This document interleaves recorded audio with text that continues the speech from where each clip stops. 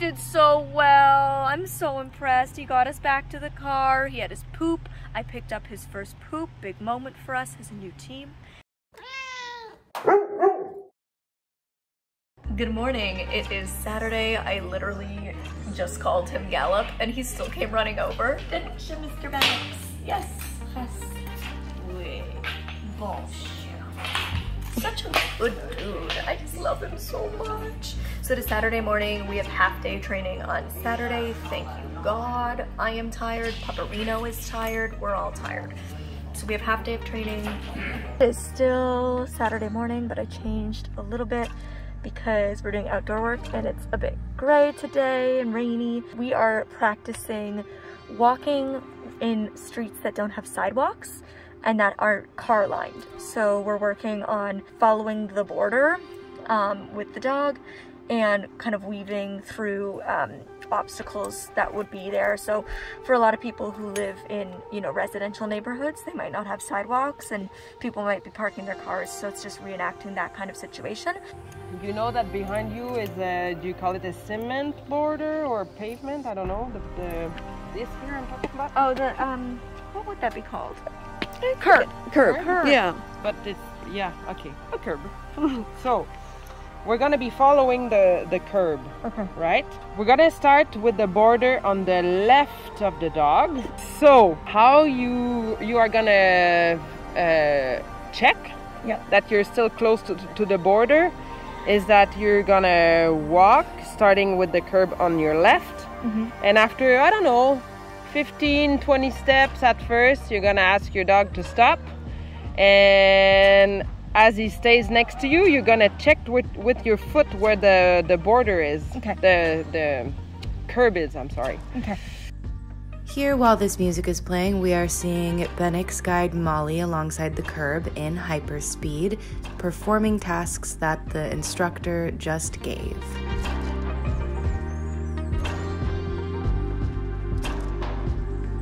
Did so well. I'm so impressed. He got us back to the car. He had his poop. I picked up his first poop. Big moment for us as a new team.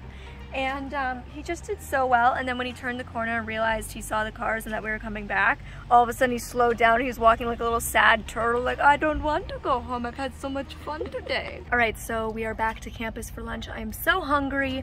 Um, everybody's heading in, but I thought I'd show you how we've been trained to get the new guide in and out of the car. So take the harness off. He does not wear the harness in the car just for his own comfort. I have him assis. As you see, he is assis, aka sitting. Then I tell him rest, rest. I get out and then pied. Bon chien. Mr. Benix here and I were running on harness down the path. It was so fun. I never get to run. Good job, buddy. So right now we're going into the park. Um, there's three of us with our guides. Actually, one of them is Benelux's brother, uh, Molson, like Molson Canadian beer. Um, and we're going into the park to work on recall, which means we're letting them just run free and have fun, and then calling them back to see how quickly they respond to come back to us. And then those who aren't letting the dog run free have their dog on harness and control them with a dog distraction. One of the dogs is having lots of fun. They have to sit still and be behaved on harness.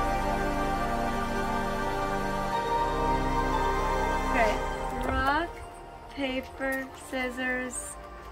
Rock. Okay, you smash uh, the, the, the, the, size, the scissor of. So I'm first. Yeah. Alright, Mr. Benedict, it's your turn to have the fun. We just played rock, paper, scissors to see which Paparino gets to play first. So he's going to do his off-leash running around this place. They'll be controlling their dogs. And um, I'll have to do recall to see if he comes when I call him. Now Gallop was never good at that because when his nose worked, his ears stopped. So hopefully this guy's a bit better at it than Gallop. No. oh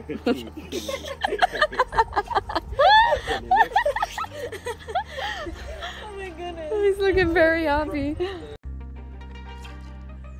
Here we're seeing a happy, wild, and free Benelux run around without his harness in the lovely Mira Park.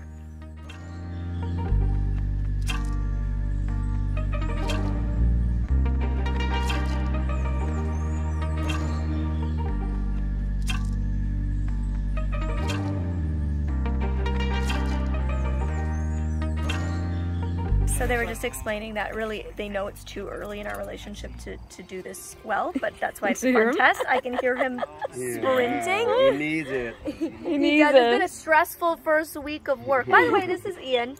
Hi, nice to meet you. This is Ian. He's the head trainer, and he's actually um, Eric St. Pierre, the founder. This is his uh, nephew. So what we're gonna work on now is, uh, like I said, recall. But they said it's really too early in our relationship, and they know that. But this is just a start. And so what we're gonna do is shake the harness, say bien, while shaking the harness, um, as well as his name, of course. And then once he comes, I have him pied. Uh, don't worry, I'm gonna go through all the hand gestures with you guys at some point. Um, and then once he's pied, which is heel, and is standing on my left side good, then he gets a treat. So that's how we do the recall here. Pied, au. Wow, you were so good. He came right away. Okay. So he doesn't have to go until you give the, the order. Benelux, va jouer. Wow, it works. He's so good. Benelux, viens. Benelux, viens. Au pied, au pied. Oui, assis. Bon chien. Oui. You, Could you see how good that is? So good. He's so good. Viens, Benelux. He's sniffing. Benelux, viens. A little pee before coming. Oh, look, here he comes.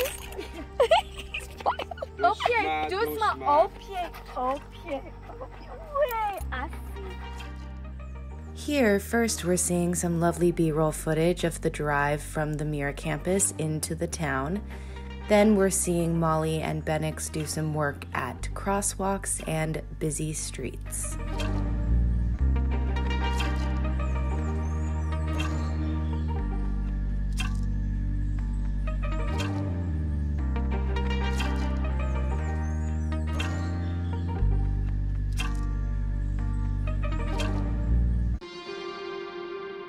Okay, Okay, off ready? you go. I'm ready. You ready for your uh, Yeah. YouTube debut? Yeah. All right. Hello, everyone. I'm excited to have you back for another video. And I think this one's going to be a really good one for anybody who has an interest in guide dogs, service dogs, because this man's life has revolved around said dogs. Yeah, I'm Nicholas St. Pierre. I'm a general manager from uh, Mira a foundation based in Quebec, and uh, I grew up in uh, in that school, which means uh, that's my dad and mom that built it from scratch. A true family business. Yeah, yeah, true family business. So I grew up in the kennel. So uh, you know, I trained dogs since I'm 17, 17 years old, and uh, I did um, I did guide dog program all my life. Uh, I met you when you were 13, Yep. and I was uh, not that old at, as well. So I took over to my dad for managing the the foundation uh, six years ago. So uh, the business go well. Of course, uh, we all faced the COVID uh, pandemic, but uh, you know we're going well, and uh, we start over giving guide dogs uh, now with you and some other uh, people that came uh, take their dogs, and we're so excited to uh, to finally restart to give guide dogs to uh, to people. Pre-COVID, how many dogs between service and guide did you give out a year? Uh, I, I would say that we're around 400 person asking for having dogs, so it's it's we have a, a lot of pressure on this, and I would say the service dog with people on a wheelchair, uh, we're, we're we're we're having like we're giving like around 45, 50 dogs per year. So I'm happy with those numbers, but uh, I think that um, I'm gonna go back around those numbers. I would say in two or three years.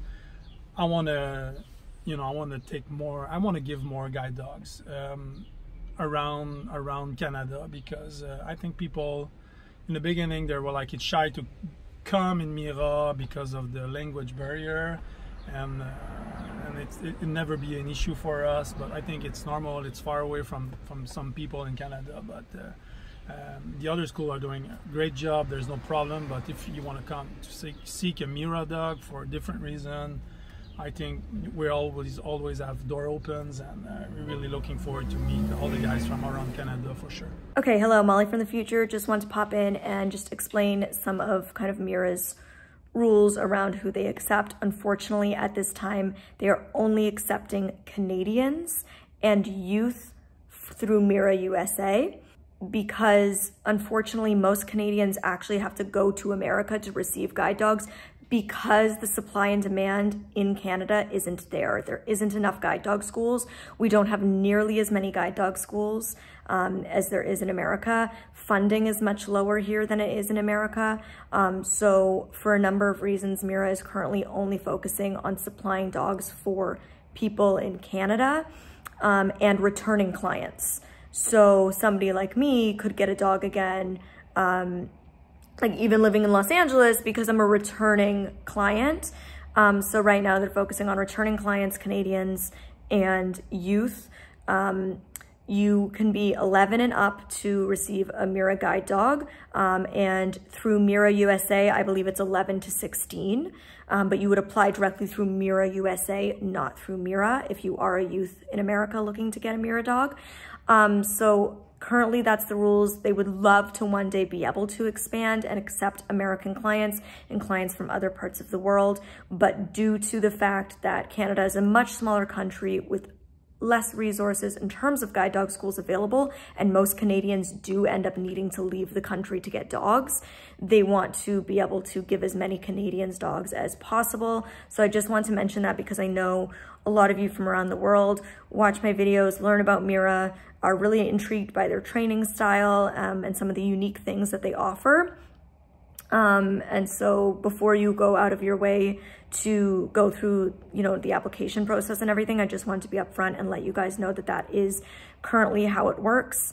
Um, but you can stay tuned and I will, I will update you guys in the future if anything changes.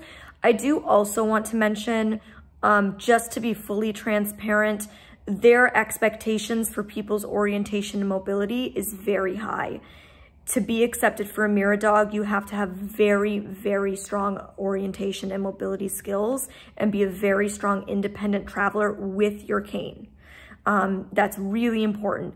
Every school has different expectations of orientation and mobility. Some schools give dogs to people who are not cane users. Some exclusively give to people who are cane users. Some have different vision requirements. Some require you to have less vision. Some are more open to having more remaining vision. So every school is different and you really have to look for the right fit for you. Every school has different training styles, different harness styles.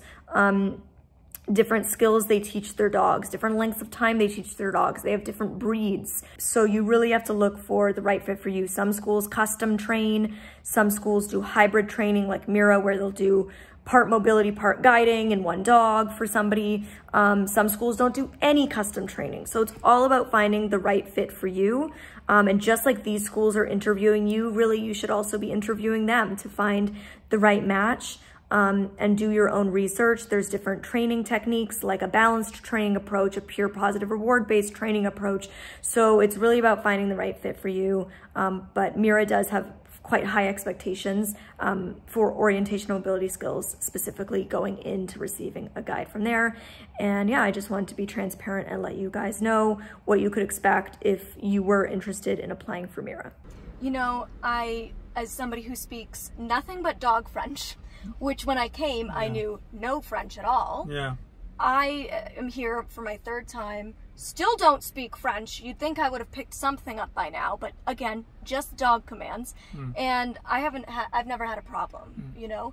Um, I can't necessarily speak to the other students in my class, but it just means on my downtime, instead of hanging out with everyone else, I'm bonding with my dog. Yeah. So it really is not a, it's a win-win. Yeah. Like I, I'm still able to have the full experience and I think that one of the most special parts about Mira is the fact that you guys train guide dogs for children hmm. because when I had to start using a cane full time at eight years old, I think like a lot of people, it was a hard sell. I did not want to use the cane, hmm. but I had a very bad accident and it was determined that I could not see enough to not use a cane. Hmm. And so the only way they sold it to me was if you get really good at your O&M, you can get a guide dog from Mira when you're 13. Mm. And so I dedicated myself to learning my O&M, both spatial awareness, how to use a cane, how to use my ears, all of these things, so much more than just learning to cross a street. I dedicated myself so I could come and I could get that dog at 13 and getting that dog at 13 completely changed so much of my life my confidence, my independence, the speed at which I could move. Mm. When I was being terribly bullied in school and would sit alone at lunch, I never felt alone because I had Gypsy with me. I had a friend. Yeah. And those things mean so much. And it made me go from feeling embarrassed that I was blind because I had to have this cane to proud that I was blind because I got to have this dog. Yeah. And that's a huge shift in the way you view yourself. And that shift in how you view yourself changes how you portray yourself to others and how they treat you. Yeah. And I I wish more schools would be able to be more open Yeah. to training for children because if anything it really changes their life even more than the lives of adults. Can you talk a bit about how you guys chose to train for children and and what you think Yeah, youth man. need to know? Yeah, I can I can share just a bit of history. Uh, in the beginning, my dad saw me with my dogs when I was like a kid, like seven or six, seven or eight years old, and I was, you know, I'm uh, I'm the only child in my family, so I was kind of a lonely kid and living in the country. And uh, you know, my friends were far away in school, so when I was coming back from school uh, at the end of afternoon, I was alone, so uh, my best friend was was my dog, and my dad saw me the bond that I create with my dogs at the time. It was a golden retriever that called quelqu'un. It, it means in, in English uh, somebody.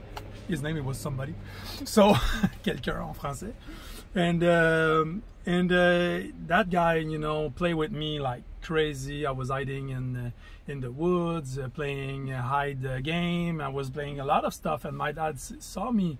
I was really creating a real bound, and he said, "Why, why, you know, blind kids could not do the same bound with with the dogs?" So he started to work with uh, Noël Champagne at the at the time, and try to compare, you know, the bonding that uh, uh, children with with vision that create with dogs, and children with no vision create the bond with the dog, and they observed that the kids, uh, the low vision kids, they were like uh, bonding with their dogs like 10 times more because they were focused on it. Yeah. So, because the other one was playing Nintendo and Mario Bros. and stuff like this, and the other one, no.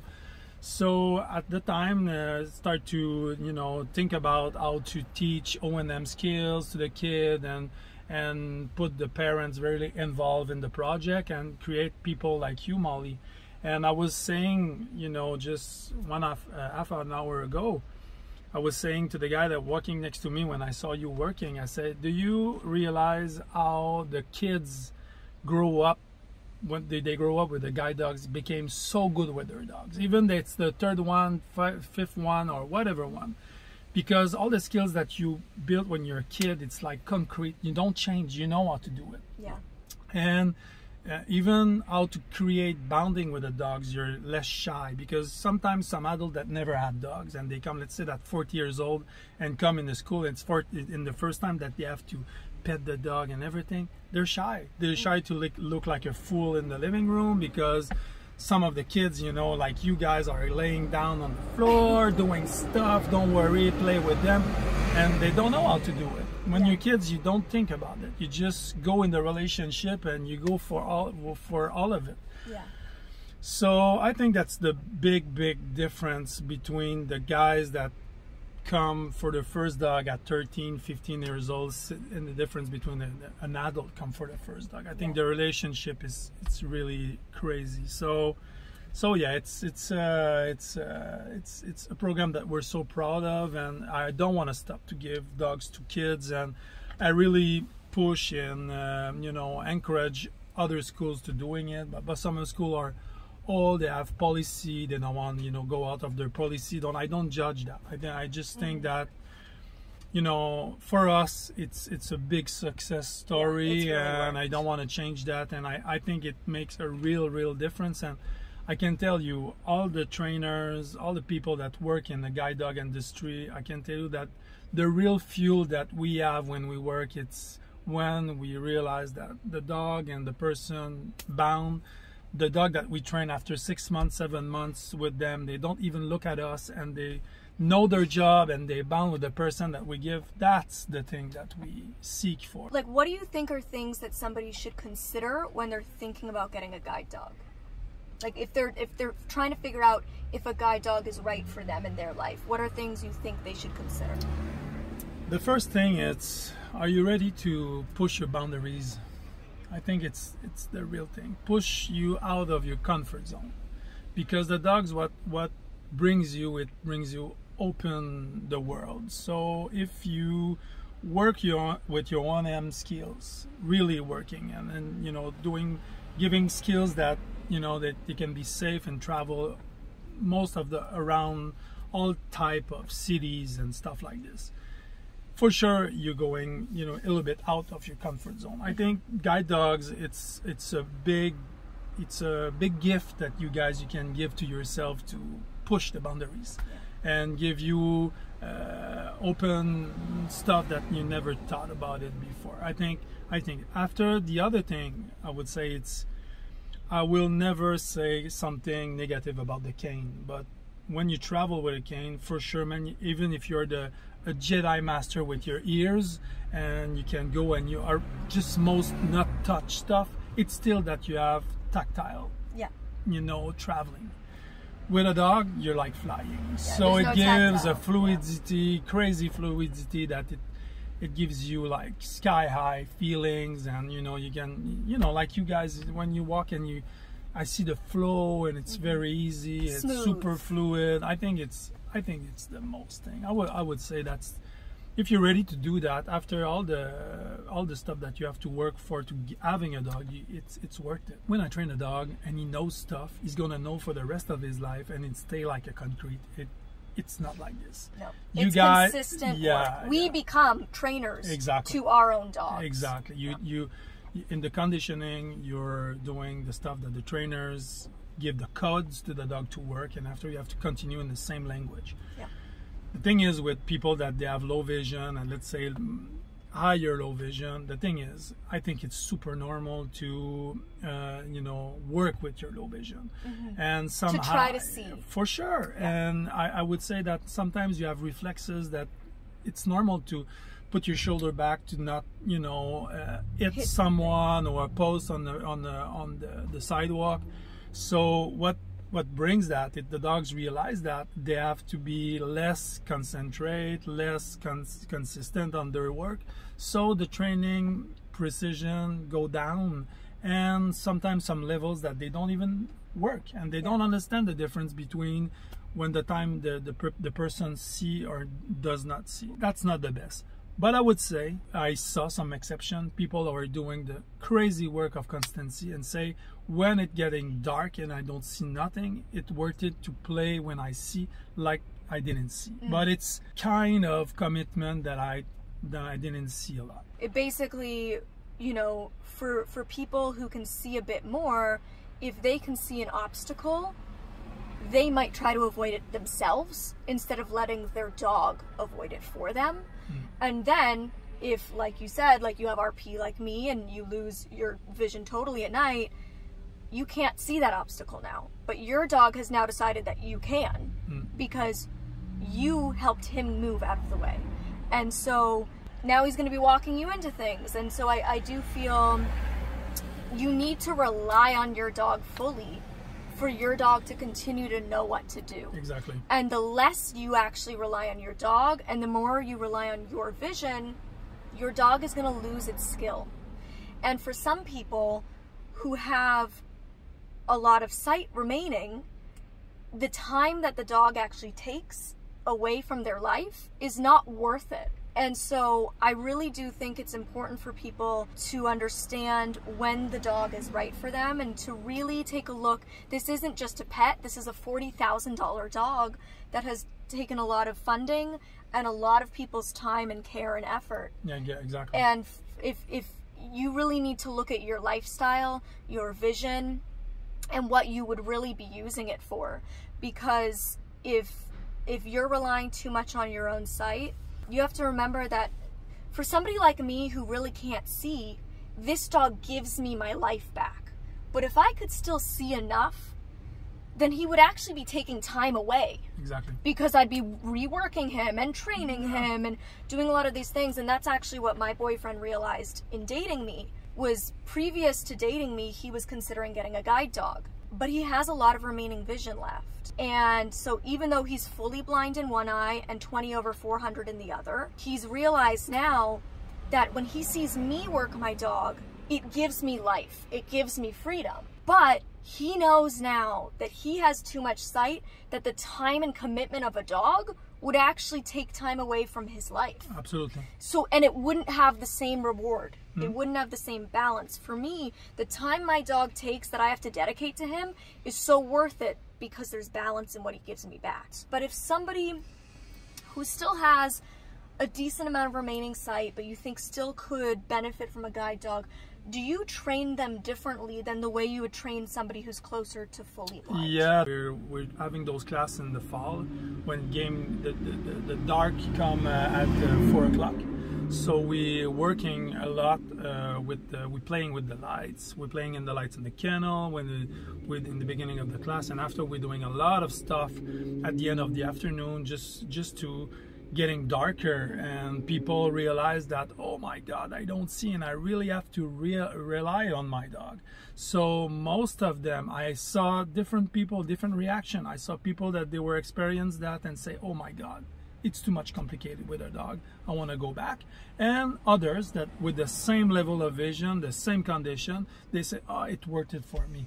So it depends really it's a really a personal choice mm-hmm. i would say and for for different people i think i saw some people that say i want to be ready when my vision is going to decrease and i'm going to be able to work with my dog the proper way. If my vision decrease during that i'm having my dog i'm going to already have my dog. So i'm open with that. But there's some compromise that we those guys have to do that's getting heavier they're traveling because they're less efficient that if they go with their vision and like just go right away on the spot that they they see they cannot do that with a dog because they have to do the commands and stay and rest and do the commands and left and they change direction and all the stuff that slow down them Yes, you can't go as fast as you exactly want. so it's Yeah.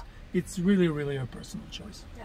yeah And I think another thing that makes Mira so special um, is that you don't pre-match, and that's extremely unique. I've never heard of another school that does that, Yeah. and I know a lot of my blind followers who have guide dogs from other schools Yeah. find this very interesting Yeah. because.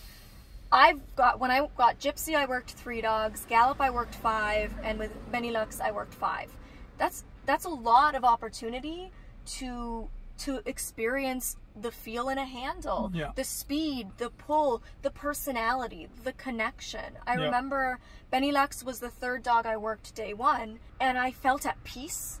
Like I just felt this sense of peace yeah and I felt like I knew him. This is such a special experience. Yeah. And you know, with Gallop on on the Wednesday I got Mistral, and by Friday we collectively decided Mistral isn't right. Let's go back. Let's get Gallop. Yeah. To be able to have that fluidity yeah and have a say in it. This is my dog. That, Yeah, that's yeah. going to be my eyes for the next six to eight years yeah and to be able to contribute to making that decision and having open conversation with the trainers i couldn't value that enough and it's one of the biggest reasons i think i would struggle to switch schools yeah is to not get any say and to just kind of show up be given my dog and if that doesn't work there's no other one there's no other option Yeah, you yeah. know and and so why is that the approach that you guys have chosen to take Uh, a lot of reasons. I would say that the first reason that when we, the first first mantra, I would say, uh, it's um, we train with some living stuff, which mean our dogs. They're coming from foster's family. They have backgrounds. They have you know family issue because uh, most of them there's some you know uh, we know the father and mother. Sometimes it's the third or the fourth letter so we know those guys but at the end of the day uh, we we live with those dogs for six seven months and they grow up they mature in the mature they in the in the kennel in the training they change so and the same in in the other way you guys when you apply to having a dog uh, when you apply let's say in uh, spring and finally the class is one year and a half or one year after uh, you guys change sometimes your life changed sometimes the vision changed if sometimes something in your life that changed your your reality. So when you guys come in the kennel, even if I have everything on paper, where you live and everything, we have kind of ID, okay, of um, you know which dog with with who because of the speed of walking, because of the environment and everything. But at the end of the day, we always um, and it's very easy and I would say that's something that always discussed between instructors because it's so easy to say, oh, I have the dog, perfect dog for Molly. Okay, one dog. So, but do you have another one? Or a second choice, a C plan. Do you have a C or B plan? Oh, yeah, yeah, yes, yeah, but th that one is good. And finally, we're arriving in the class and we don't share with you guys. Sometimes we're, we're the first pick, and finally, it's not the first pick, it's the third pick that really the matchup creates. So if you're like closing your spirit, your mind, and say, no, it's that dog's gonna be with Molly, I can I think that you can hit a wall. Yeah. So that's why I think putting ourselves in the box that say that dog with that person, I would say that it cuts us uh, all the magic that we don't, we we can't we can sorry uh, create in the kennel with you guys. When I got matched with Gypsy, I'll never forget. Um, another person in the class was working her in the kennels, and she just kept guiding her to me and sitting down. Okay. And Natalie was like, "All right, we need to try you with Gypsy because." She just is attracted to you. Yeah. And all of a sudden she was doing things that she never would do. Yeah. And they were like, she's picked you. Like she wants to work for you. Yeah. And so she's going to work for you. Yeah. You know, because she feels something. And she might not do that for somebody else. But because she seemed to have this pull to you, she's going to, to do it. Yeah. And it, it really is like giving everybody a chance to have a say, even the dog yeah. getting a chance to say this is what I want to do. Yeah, yeah, that that's some behavior that the dogs, some dogs do, or sometimes it's it it, it look like nothing, and the the the boundings slowly, deeply built, and sometimes creates amazing teams. So Yeah. it it took a lot of route, different route to create a relationship like between human beings. I, I think it's the same. Uh, but you know that's that's the way we work. I think that it creates opportunity that maybe create strong teams. Slowly we we work in that spirit and i think that it's it, it pays. And i, I think that uh, we we we have to continue to learn from our experience and uh, it's going to be a life life uh, working Yeah, I think, I mean, you have a very balanced approach to the training of the dogs, and I really appreciate that. I feel like I've learned so much over the years from all the trainers I've worked with, Mm-hmm. and these dogs have truly been life changing for me. And I'll be back in my 30s, I'll be back in my 40s. yes You'll sir see me for yes, the rest of my sir. life. yes sir I will be getting my pups, and um, I couldn't appreciate you guys more for everything you've done to change my life. Yeah, Um, you're welcome you're so welcome And thank you to all of you for donating, for supporting um, such an important cause that is life changing for not only me, for everybody else in my class, Yeah. for everybody else who has ever received a Mira dog.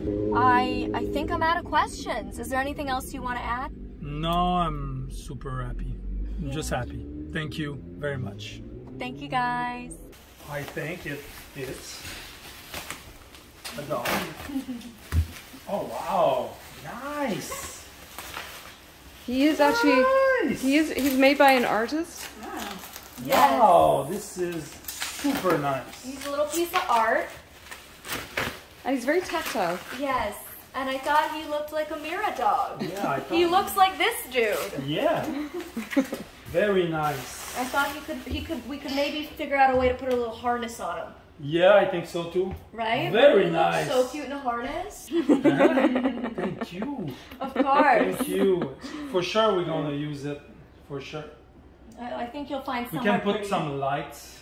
Huh? Oh, lights on it. Ah, Oh, during Christmas yeah. and stuff like this, huh? We can, you know, you know, we can put, uh, we can put this dude uh, somewhere. And I think always we're testing the behavior of our dogs.